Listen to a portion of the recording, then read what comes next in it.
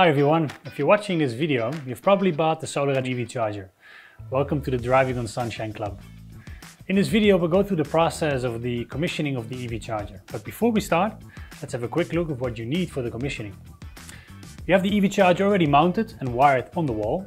In addition, you need a quick guide, possibly a pair of hand gloves, a flat screwdriver and a voltage meter. Okay, the terminal cover on the left is closed, but I left the communication area accessible and we will cover it later. Now, first thing you want to do is set the dip switch. The charging station is set to 16 amps in the delivery state.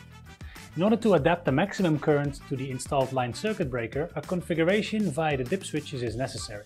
To move the switches, you should use a flat screwdriver, and for alternative setups of current, use the quick installation guide.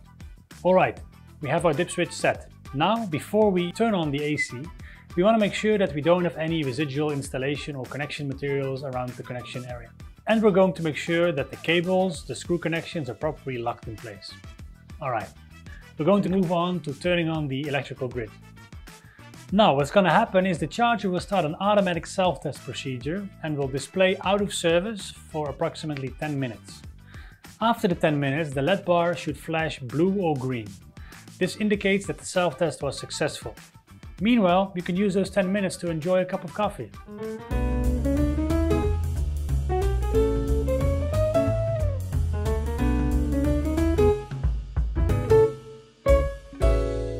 After the successful startup, you can put the charging station into the commissioning mode needed to perform the required initial testing. To activate the commissioning mode, you will need to switch on dip switch 8 in the upwards position and then press the service button until you hear a clear beep. In commissioning mode, the device carries out an extended self-test and the contactor is switched on with a time limit to allow you to measure the voltage on the contact points of the charger gun. Once you're in the commissioning mode, you will notice the LED turns orange. Please notice that a normal charging procedure is not possible when you're in commissioning mode. Okay, voltage meter is connected. Let's test our EV charger. Yes, everything looks great. Let's move on to the next step. Now we'll need to deactivate the commissioning mode in order to operate the charge station properly. Let's set the dip switch 8 back into the off position and now we're going to press the service button. What we're going to do now is register the SolarEdge EV charger via the SolarEdge monitoring platform. Once your EV charger is properly installed and you have the blue or green LED blinking, you are ready to start. We finished the installation and we've closed the cover with the two screws. Now we're going to go to the registration of the SolarEdge EV charger in the SolarEdge monitoring platform. Log into the monitoring platform. You go to the admin tab. You select logical layout and on the left side click add device.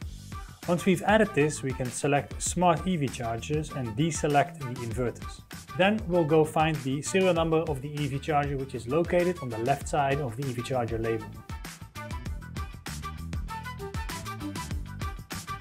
Once the serial number is added, just click Create. The EV charger is added to the monitoring platform and will appear in the MySolarEdge application. Last step is to open the MySolarEdge and see the EV charger is registered. And yes, as you can see, it is. That's it. Enjoy your new SolarEdge EV charger. To complete the installation, use our manual and our supporting how-to videos in the YouTube channel.